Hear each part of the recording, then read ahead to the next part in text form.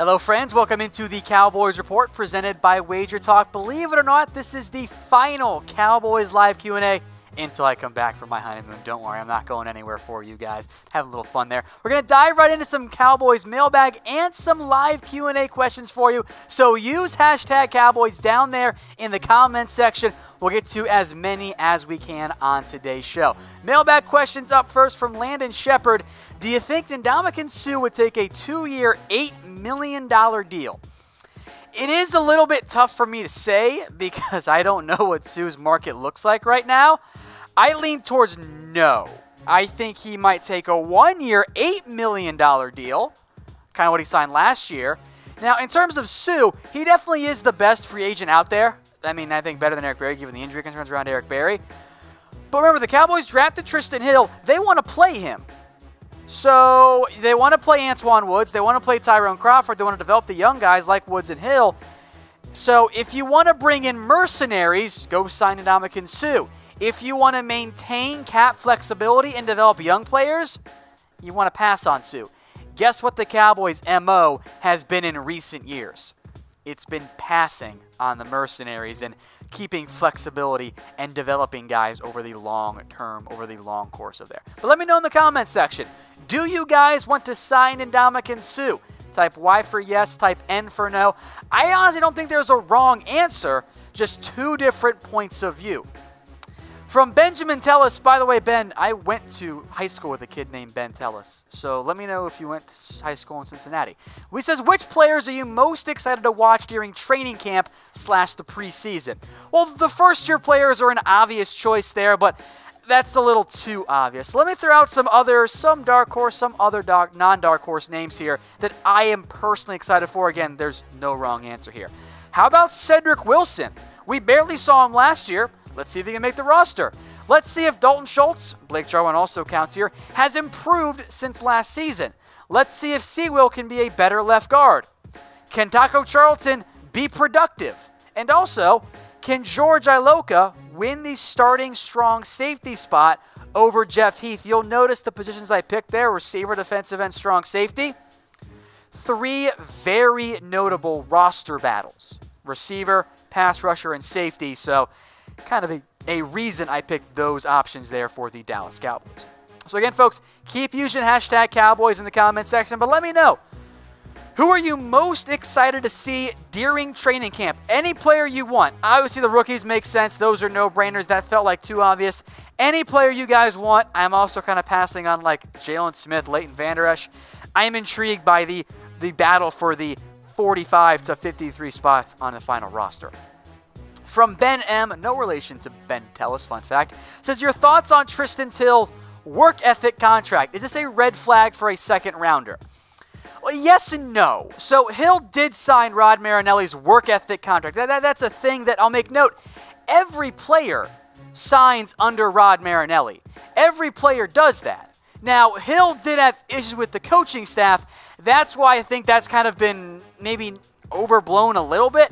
There are reasons to have concerns about Hill, but I don't think signing the work ethic contract is a good reason for that. Every player does that. Rod Marinelli said that himself. So I don't think that's anything to be concerned about. That's something Marinelli does for every player. It's not exclusive to Trysten Hill. If it was, I would be concerned.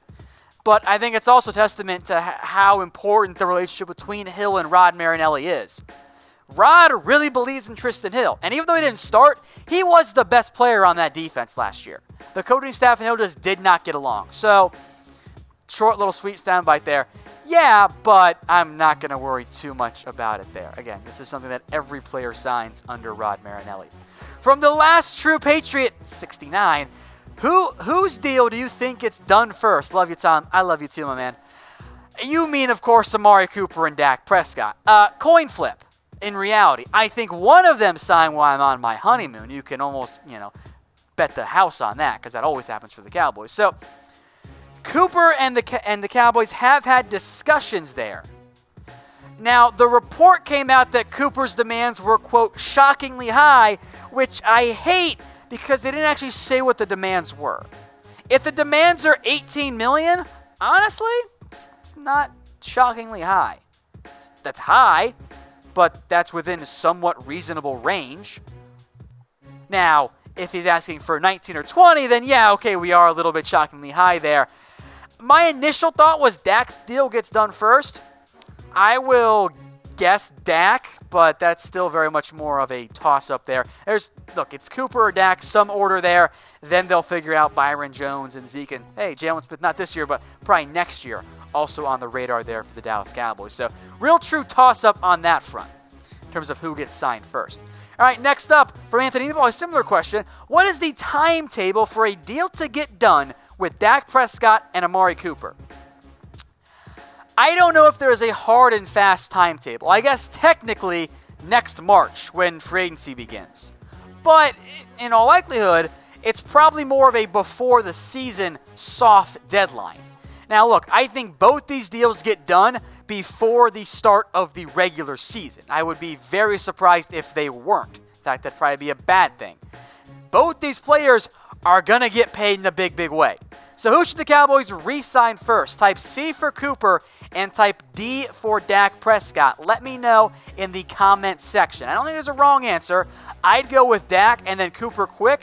But again, before Julio Jones, Hopkins get their new deal, let's re-sign Cooper. It'll save you money. Before Jared Goff, Carson Wentz get their new deal, let's sign Dak. It'll save you money in the end. Speaking of saving money, go to wagertalk.com slash chatsports. You can save money and earn it with WagerTalk. They are giving away a free daily pick package. It's available at wagertalk.com slash chatsports and only there. You don't have to pay for this type of betting advice. Instead, they're giving it away for free. wagertalk.com slash chatsports. Emmanuel Johnson wants to know why don't the Cowboys get Tyreek Hill? Why would you want him? Like he did it, guys. Come on. Like he he, did it. You don't tell your your fiance you should be afraid of me too unless you kind of have some personal issues. I don't want Tyreek Hill on my roster. Landon Shepard, more receivers, says sign Dez Bryant with no money guaranteed and use him similar to the way we used Brice Butler. Brice Butler's back. Long time since we had a Brice Butler question, even though it's kind of indirect there. Look, if you want to bring back Dez, cool, it'd be fun. But the best move for Bryant's long term career is not to be an outside deep threat like Brice Butler was. At this point, especially coming off an Achilles and given his age, Dez isn't a deep threat.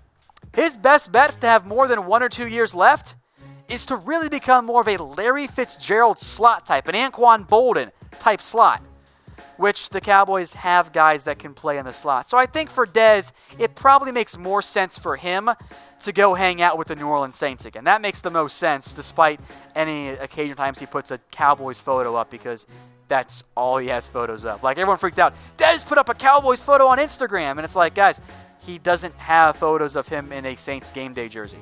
It's always got his Cowboys. All right. From Austin Rystad, what wife receiver? How do you get a wife receiver, by the way? I, I know you mean white. I just can't resist. Would you trade Gallup, Hurns, Cooper, or Cobb? Well, I'm not trading away Cooper. I'm not trading away Gallup. I don't think you trade away Randall Cobb. You save the most money trading away Allen Hurns. Now, the problem is I don't know if you can get anything for Allen Hurns. If you can get a pick swap in the seventh round, do it. A, he's making 6.25 million. B, you can save 5 million if you cut Allen Hurns. I know some of you guys like Hurns, and I get it, but from a monetary long-term roster building perspective, doesn't make a lot of sense. So if you can find a way to find a trade partner for Allen Hurns, I do it. I think that makes the most sense for you long term and in the short term because who wants to pay your number four receiver 6.25 million? I think, or your number five receiver even. That's just that's just bad roster management at that point. All right, but there's your depth chart there. So I, I think Hurns makes the most sense. From Salad Jr. What do you think the Cowboys' needs are after this year? Also, any dark horses that will maybe make the roster? Stay tuned. We'll do some depth charts for you, so make sure you're subscribed. YouTube.com slash Dallas Cowboys Report. In terms of future needs, look, you got notable free agents coming up. Robert Quinn. I think he's a one-year rental. Amari Cooper, he'll be re-signed. La'el Collins, probably gone, but you've got Connor McGovern and Sewell, so you're probably okay there in the short term. Byron Jones, I maybe maybe a franchise tag candidate. Byron jo- or er, Dak Prescott, I think he's back. But Anthony Brown, Randall Cobb, Sean Lee, Maliek Collins, who knows about Jason Witten at this point? Those are all free agents. So you're looking ahead to 2020, where overall your roster is in pretty good shape, but for long term answers at the position, you're probably looking at tight end. You're going to be looking at cornerback, especially if you don't re sign Byron Jones. Safety will, I think, forever be a need for the Dallas Cowboys. Wide receiver, because you have Cooper, you have Gallup, pretty much everyone else is a free agent. So you better add somebody else there as a number three. Good news, it's a loaded class. Defensive and defensive line there also makes some sense for the Dallas Cowboys, at least as possible 2020 needs, of course. There's an entire season, an entire offseason still to go.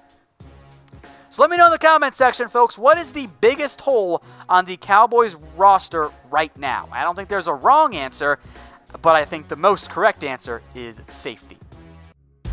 Hey Cowboys fans, thanks for watching the Cowboys Report. If you haven't already, click right here to subscribe to our channel for all the best Cowboys coverage on the internet. That's news, rumors, highlights, mailbags, film studies, and a whole lot more. And I'm making your lives a little bit easier as well with the next Cowboys Report video right here.